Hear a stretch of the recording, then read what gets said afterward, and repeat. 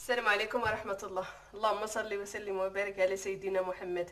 كي دايرين لاباس عليكم كلشي بخير. تنتمناكم تكونوا بخير وعلى خير وفي أحسن الأحوال إن شاء الله. ومرحبا بكم معايا في فيديو جديد. اليوم غادي نقدم لكم الطبق ديال ال courgette والقرعة الخضراء بالزعتر. كتجي رائعة كتجي بنينه وصحيه وإلا عجبتكم تبعوا معايا حتى الأخير وما تنساوش ال like. على بركة الله ندز معكم طريقه التحضير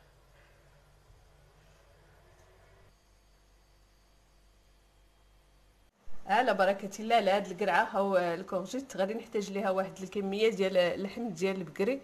آه والنوعية والكمية على حسب الرغبة ديالكم وشويه ديال القزبر معنوس مخلطي مع واحد المطيشه كبيرة اللي حيت ليها الزريعة وقشرتها وقطعتها مربعات صغار.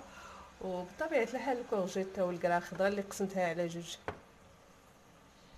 أول حاجة كنبدأ بها هنايا في الطنجرة كنرد اللحم وغادي نزيد عليها واحد البصلة محكوكة. واحد البصلة كبيرة محكوكة.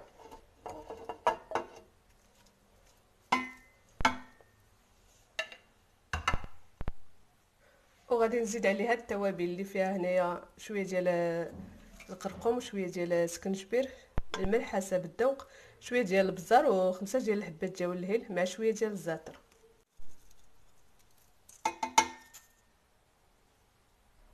وعندي هنايا تقريبا واحد جوج معالق كبار ديال زيت الزيتون صافي من بعد غادي نشحرها واحد شوية.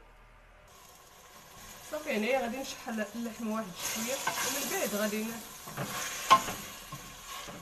من بعد غادي نغطيه بالماء ونخليه حتى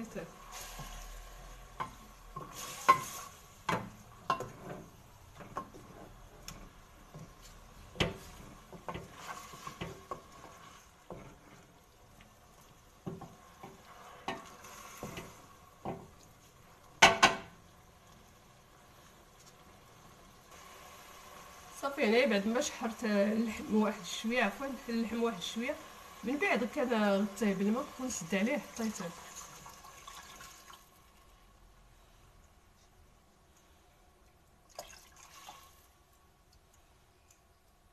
ما طبت اللحم من بعد كنضيف القرعة. اللي قسمتها على جوج.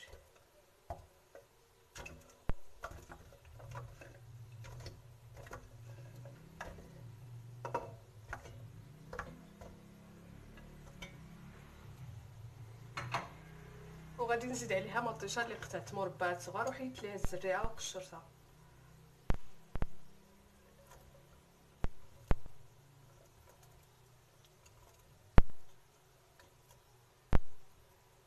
وغادي نزيد واحد الطرف ديال الحمض ولا المصير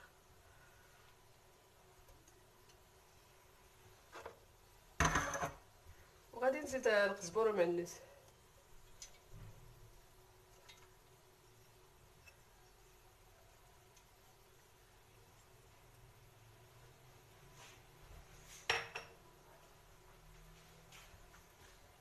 صافي غادي نعاود نردها طيب حتى طيب القرعه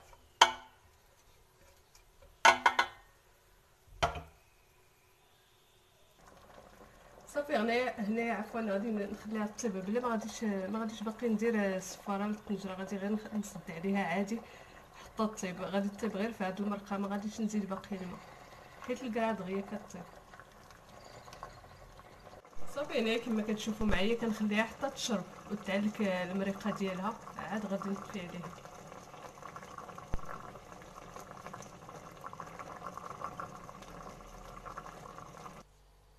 وهذا هو الشكل النهائي ديال الكورجيتا والقرعة الخضراء بالزعتر. راه كتجي رائعة كتجي بنينة بزاف وصحية. تنتمنى تنال اعجابكم مشاهدينا الكرام. أكيد إلا جربتوها غادي تعجبكم. وإلى فيديو مقبل إن شاء الله. السلام عليكم ورحمة الله.